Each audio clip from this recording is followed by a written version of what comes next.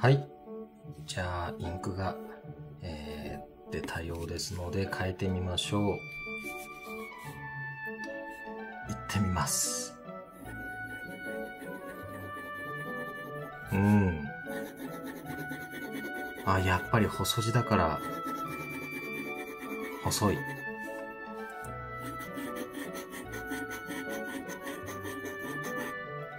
あー、でもやっぱ書きやすいな。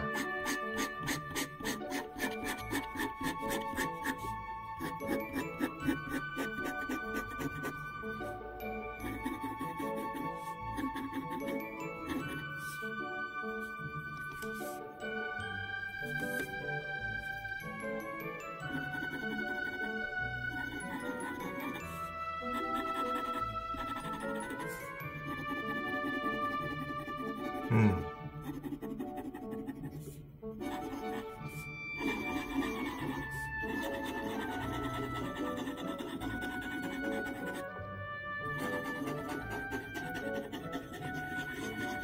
とりあえずこのね、書き始めで、どこかが引っかかるっていうのは、ないですね。うん。その辺は大丈夫そうですね。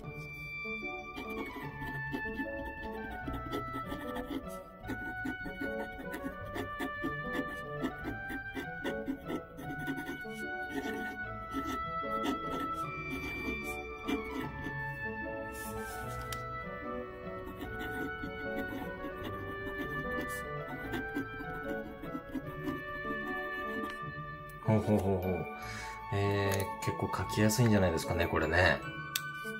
じゃあちょっとアップで行ってみましょう。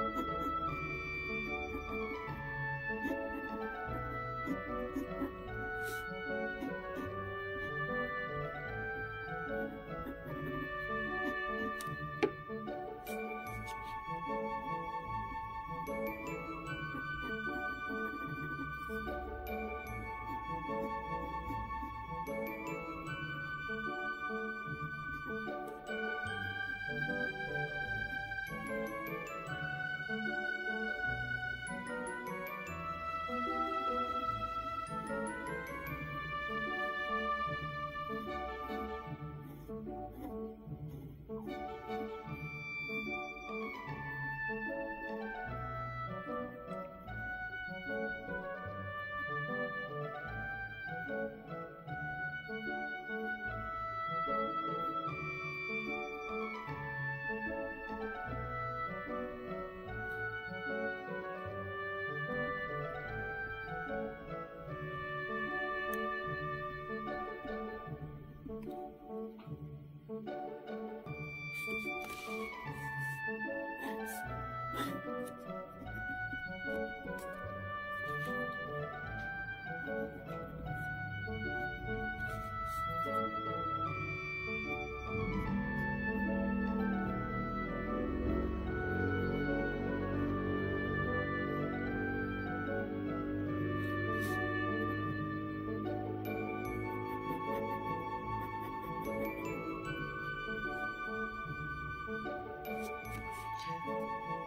いい。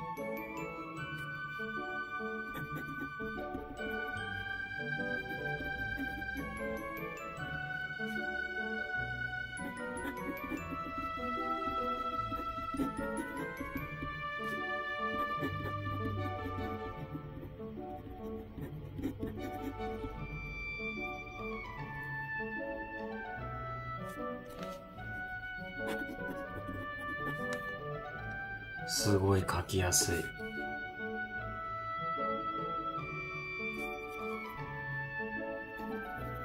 これ、今までの F2 部の中で一番カリカリを感じないかも。まあ、ちょっとね、F2 部、もう一回いろいろ書き直してみないと何とも言えないですけど、すっごい書きやすそうに、僕が書いてるの分かりますかね？これなかなかですよ。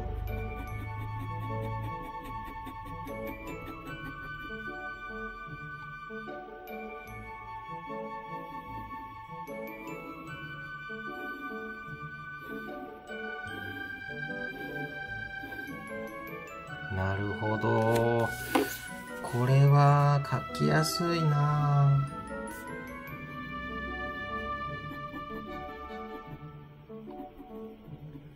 なんか国運の凄さを改めて知った。改めて感じた。国運。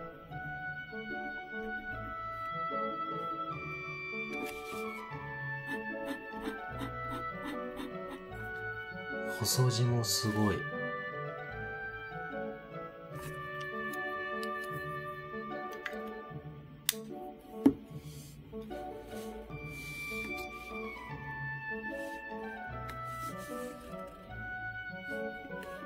や、これ、これすごいですね。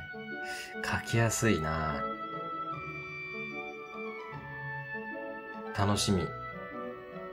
もうちょっと使ってってどうなるのかなっていう。で、まあ、印象としては、このカートリッジのこのインクとの相性がやっぱりすごいのかなという感じもしますね。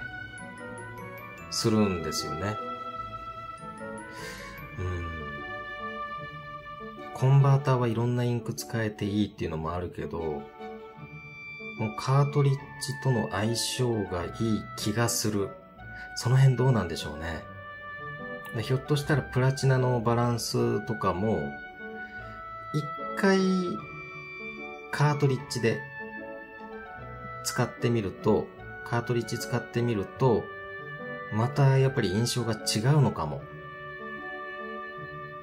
なんかそんなような気もしますね。やっぱりメーカーごとのインクの相性っていうのもありそうだし、インクの種類によっても、色によってもありそうだし、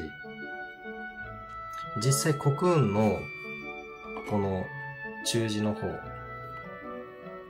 こっちは、えー、最初カートリッジ使ってて、で、その後、色しずくの月夜に変えたんですけど、やっぱり同じパイロットのインクだけど、か、書き味っていうかね、印象はやっぱちょっと変わったような気はするんですよ。書きやすいことはもうもちろん書きやすいんですけどね。うん。ひょっとしたらそういうインクの違いっていうので大きな差が出るってことはやっぱりまあ話でも聞きますからね。うん。まずはカートリッジで一回書いてみるっていうのは、ひょっとしたら大事なのかも。という気もしてきちゃいました。えー、まあ、とりあえずね、あの、いろいろ書き比べてみたいなと思います。